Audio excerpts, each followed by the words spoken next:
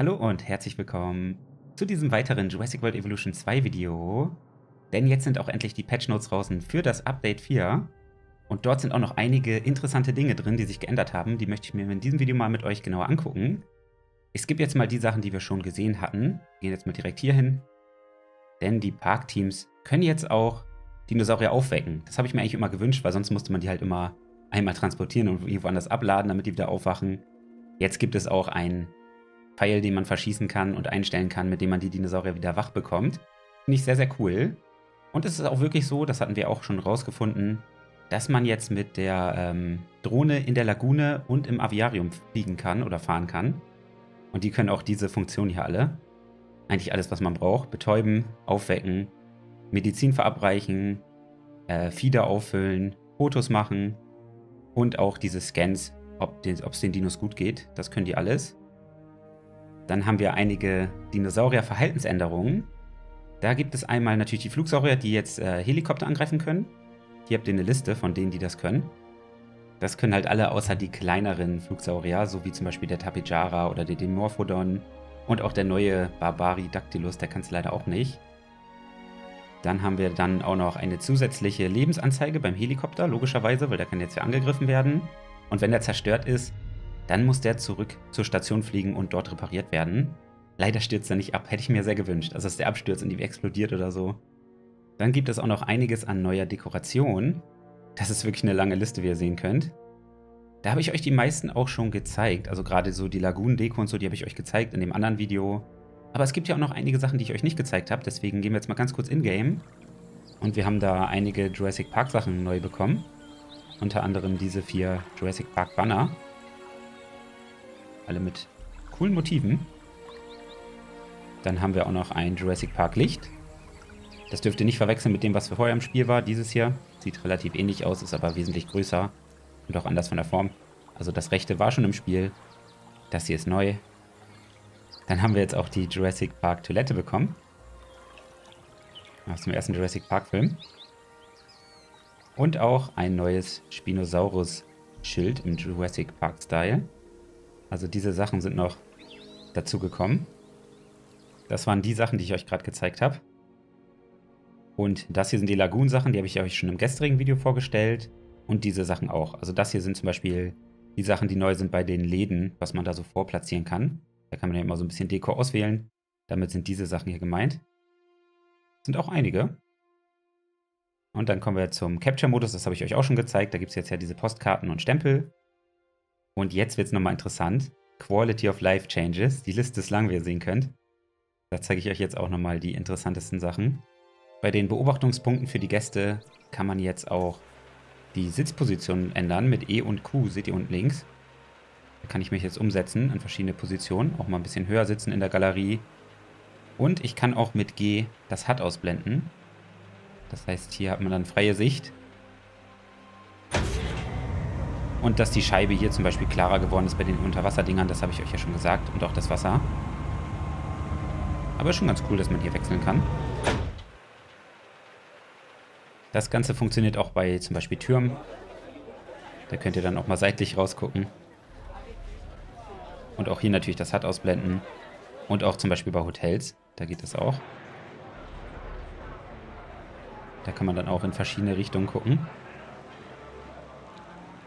Das sind sogar vier Kameraperspektiven. Beim Amphitheater schauen wir natürlich auch nochmal schnell rein in die Ansicht. Da gab es vorher nämlich gar keine. Kann man dann auch schön durchschalten.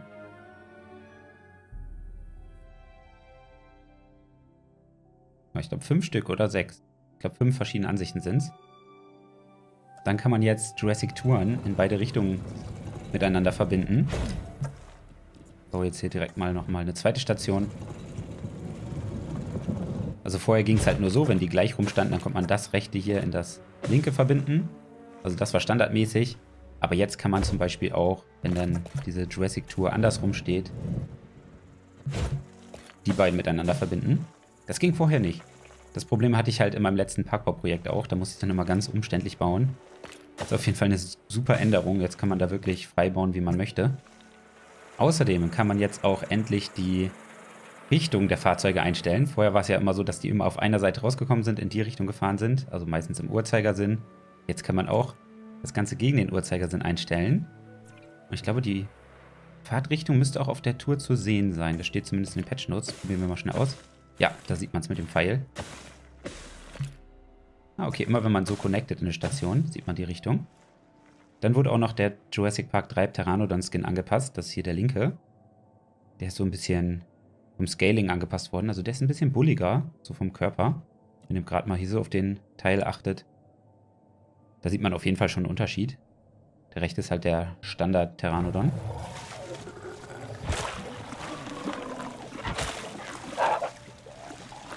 Ja, der ist auf jeden Fall ein bisschen bulliger.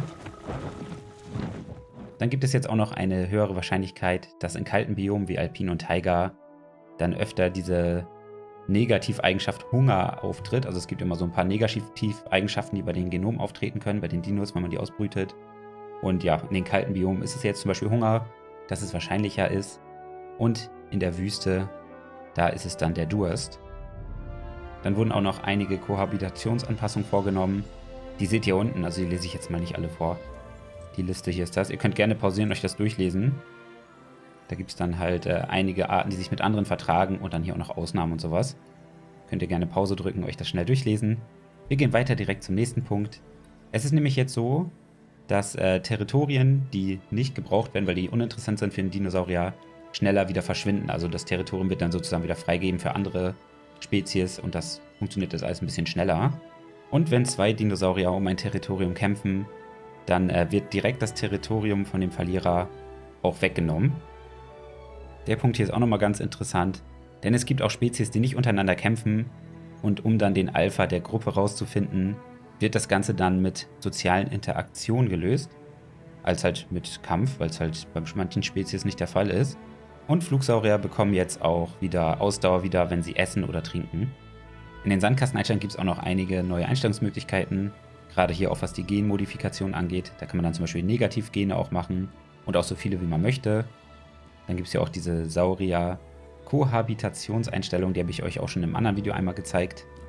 Und es gibt hier auch zum Beispiel noch, wo war das, bei Park. Genau, hier kann man dann den sofortigen Abriss oder Bau einstellen. Wenn man Wege platziert, gibt es jetzt hier auch eine neue Funktion, nämlich Überfüllungsanzeige. Die kann man einschalten und dann wird einem gleich angezeigt, ob die Wege halt zu schmal sind oder sowas. Dann kann man da direkt während des Baus darauf reagieren, weil man es halt sieht. Also wenn die jetzt zum Beispiel zu schmal wären oder zu wenig Wege, dann wird es halt rot angezeigt werden. Hier ist jetzt alles gut. Aber wenn es einen nervt, kann man es auch ausschalten. Also ist auf jeden Fall sehr praktisch. Wir haben auch noch eine neue Funktion, was die Wissenschaftler angeht. Nämlich kann man jetzt mit der R-Taste das Ganze hier refreshen. Das heißt, man kriegt dann eine neue Liste von neuen Mitarbeitern. Hier oben sieht man, glaube ich, auch die Gesamtwerte der Fähigkeiten. Und dann kann man sich halt andere aussuchen. Es hat aber auch einen Cooldown. Ihr seht jetzt hier zum Beispiel 6 Minuten 9. Müsste man warten, bis man das wieder machen kann. Und dann gibt es hier auch noch wieder einige Bugfixes, also einige Fehler, die behoben wurden. Ihr seht halt, die Liste ist lang. Ne? Ich gehe jetzt nicht alles durch. Ich versuche euch halt so die in meinen Augen wichtigsten Punkte zu zeigen. Wenn da noch irgendwas bei ist, was ich vergessen habe, schreibt es gerne in die Kommentare. Aber es geht hier sogar noch weiter, denn wir kommen jetzt hier auch noch zum Dominion Biosyn DLC. Da wurden auch noch einige Sachen geändert. Da gibt es jetzt zum Beispiel auch hier diese Außendeko im Biosyn Design. Diese kupferfarbenen Sachen. Ich glaube, das sind einmal die Lampen, das die Springbrunnen. Und sind das die Skulpturen mit dem Pteranodons? Könnte sein. Auf jeden Fall, ihr könnt ja dann selber mal die Liste durchgehen. Hier sind auf jeden Fall einige neue, was diese Außendeko angeht.